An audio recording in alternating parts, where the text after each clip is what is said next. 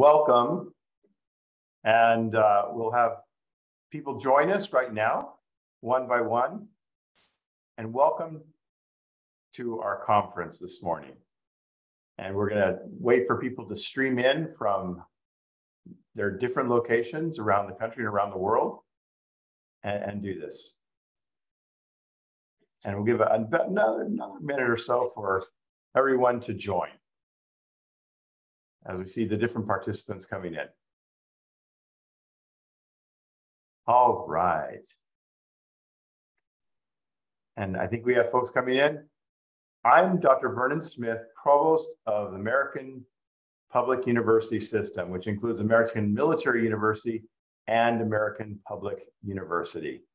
We are very pleased to be able to, in cooperation and support from the Policy Studies Organization, to present to you the third annual Space Education and Strategic Applications Conference. And the conference in its third year um, has continued to grow in name, in reputation, but also in opportunities. During this conference, we will have the opportunity to not only hear from some great speakers like the one that will be coming up at 9 a.m. Eastern Time, um, that uh, you'll have. How many times do you get to hear an astronaut on your daily week or weekly basis?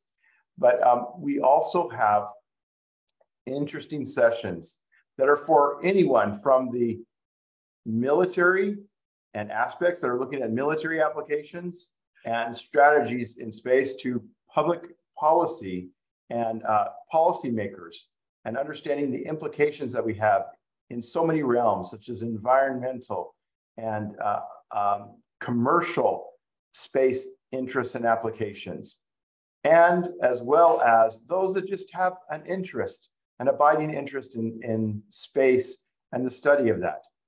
Our desire as an institution of higher education is to help bridge the gap for skills, knowledge, and abilities that are needed as we become more of a spacefaring people uh, as on a global scale. The space industry is considered a 13 trillion, that's with a T, trillion dollar industry that continues to expand. An American Public University system is here. We have space studies programs. We have other ways of supporting, including the journal that is comes out for this conference, named after this conference, the Space Education and Strategic Applications Journal, which is published through the Policy Studies Organization. Those proceedings, opportunities, or other ways that you would like to participate, perhaps publish research or applications. It's not just the, the pure research, but it's the application of how space education and, and space policy and all things space come together.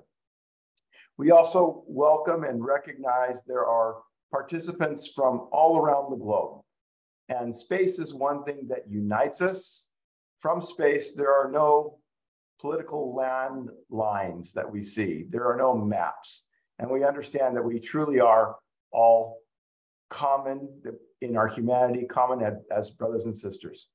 So during this day uh, and tomorrow, we hope that you will be able to see and know of those areas of their interest to you and also join in the community of those that seek to improve and to study our, our commercial military space policy and application in so many ways.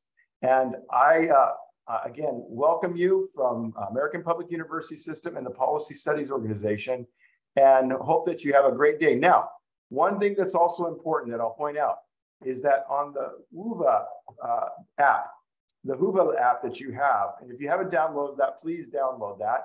That will give you information about the speakers, about materials. It'll also give you information about uh, the schedule and how to get in links to that. So I really encourage you to load that app up uh, during your, your time to make it a little bit more convenient and also to give you the information and the follow-up that you need.